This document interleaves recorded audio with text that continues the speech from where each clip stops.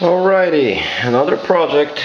Uh, today I am working on this custom shower system manufactured by Moen that will have uh, four body sprayers, three volume control valves, handheld and of course regular shower head and as the last feature thermostatic valve which allows us set the temperature to our preference and then keep it that way each time we're showering uh, without additional adjustments needed. Um, so, uh, of course, I'm starting from uh, all the valves, everything that will be inside of the wall. Um, in this case, we're dealing with a Moen thermostatic valve, uh, model S3371, designed to be used only with a 3 quarter inch uh, water lines. Uh, so this is uh, unit that we have over here. I'm already working on it, preparing uh, to installation. Uh, another item that will be covered in the wall, uh, we have three volume control valves. One for handheld, one for regular shower head, and one for body sprayers. Model S3600, also designed for uh, 3 quarter inch fittings. And uh, another uh, interesting piece that uh, Moen is manufacturing uh, will be uh, uh, this additional T for sprayers that saves us a lot of work. It's really nicely designed. body sprayer will be attached over here. Here are extensions for a pressure balancing loop to be attached so this is pretty nice design uh, mm, making uh, my work a little bit easier and cutting some expenses regarding the fittings. But uh, here the model for that is S1300 rough-in for body sprayers.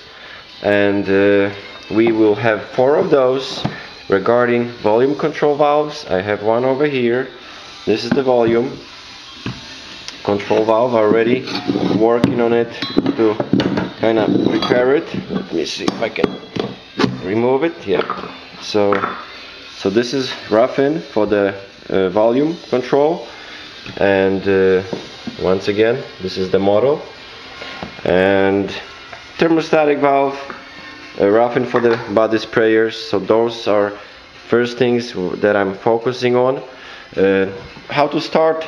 Of course uh, First of all, I'm starting from nicely measuring and fi figuring out where I want the uh, sprayers to be attached. This will help me design all the additional piping needed because uh, many of the pipes later will go on top of those brackets. Those are mount brackets for the uh, rough-in for the sprayers that comes with the kit. So uh, we can nicely adjust uh, positioning uh, ride to to our preference. It goes like that inside and then just slides to whatever position we need. Very interesting. And we will have four of those so I'm starting from this because later there will be several pipes that will have to go on top of the brackets. Will be too late to mount, mount those later.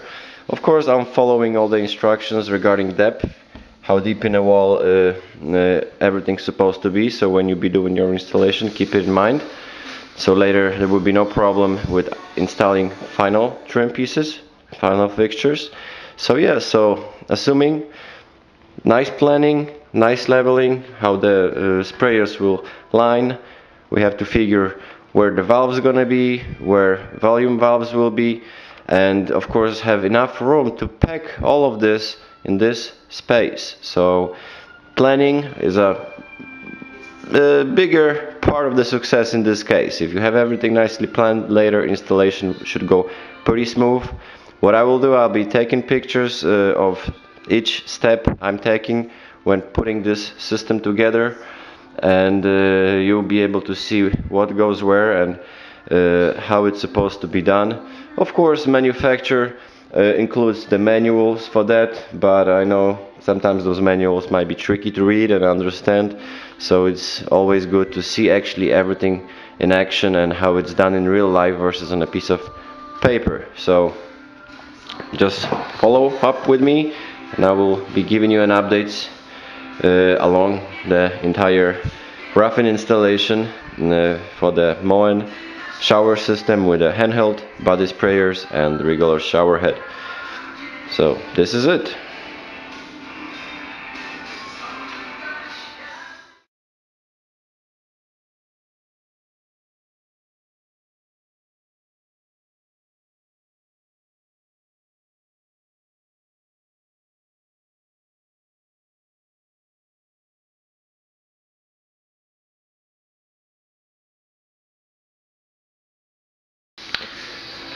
Quick update. Um, been working here on this custom shower system since morning. Um, yes we have all or actually most of the fittings already in place. We have uh, hot and cold water supplied to the valve the thermostatic valve. Then it spreads to those three volume control valves. And then here it connects to the our pressure loop pressure balancing loop. And the other one it's still to be continued here through this stud to the handheld. That will be over there. Um, I would like to finalize with this part would like to do all the soldering uh, right now because I have some holes to drill later here and here. I don't want any uh, debris to fall on the solder paste on joints that are not completely finished yet so I'm gonna proceed with the soldering. All those fittings here there's no solder yet. I mean it's still to come. It still moves. So so this is another step. Um, we'll give you an update later once this part is done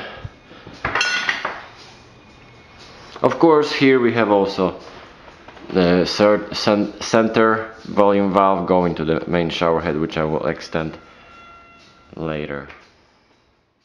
Um, I'm about to do final soldering. Um, I did most of it uh, yesterday. Right now I am already have all those uh, remaining lines uh, figured and kind of pre-connected. Uh, this arm here, this is the, the, volume control valve that be turning on and off the handheld. It runs over here to the corner of the shower.